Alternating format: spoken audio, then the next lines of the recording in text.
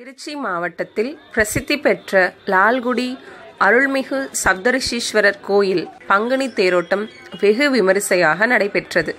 இந்த தேரோட்டத்தில் ஆயிரக்கணக்கான பக்தர்கள் பங்கேற்று சுவாமி தரிசனம் செய்தனர். அந்த வீடியோ தொகுப்பினை தற்போது காண்போம்.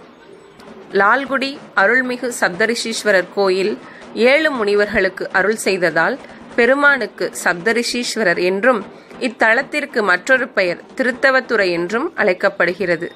இக்கோயிலின் பங்குனி திருவிழாவின் கொடியேற்ற விழா கடந்த மார்ச் பதினெட்டாம் தேதி கோயில் கொடிமரத்தில் கொடியேற்றம் நடைபெற்றது.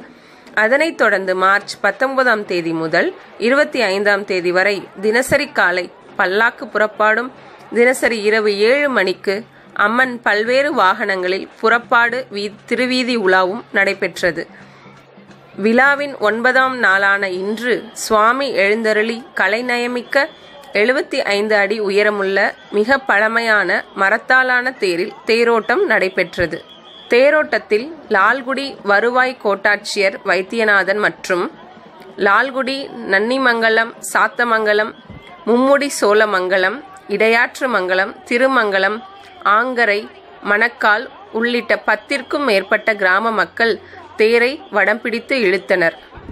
விழா ஏற்பாடுகளை கோயில் செயல் அலுவலர் மனோகரன் மற்றும் கோயில் பணியாளர்கள் பக்தர்கள் செய்திருந்தனர். பிரசித்தி பெற்ற லால்குடி சப்தரிஷீஸ்வரர் தேரோட்டத்தை பக்தர்கள் அனைவரும் கண்டு இறைவனின் அருளை பெற வேண்டுகிறோம். ஓம் நமச்சிவாயா. இதுபோன்ற பல்வேறு விதமான ஆன்மீக தகவல்களுக்கு ஓப்பன் டாக் தமிழ் யூடியூப் சேனலை சப்ஸ்கிரைப் செய்யவும். நன்றி. மீண்டும் அடுத்த வீடியோவில் சந்திப்போம்.